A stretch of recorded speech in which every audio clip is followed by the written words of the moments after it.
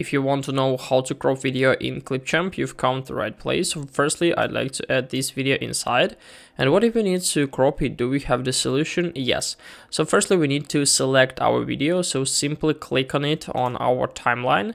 And after that, this couple of instrument will appear in the left top corner on the player menu. So here we need to find the instrument which is called crop. So as you can see, it looks like this.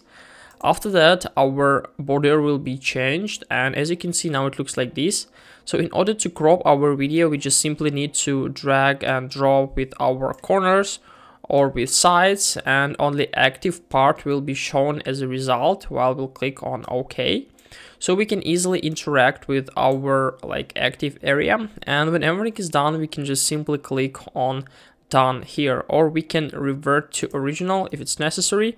So in my case i'm going to play something like this and now we can click on done. And as you can see everything was cropped out uh, only the active zone uh, remained. So now we can simply use this object as a new one right up here. So this is the only one way of how can we use a crop instrument on clipchamp. Hope this video helped you out.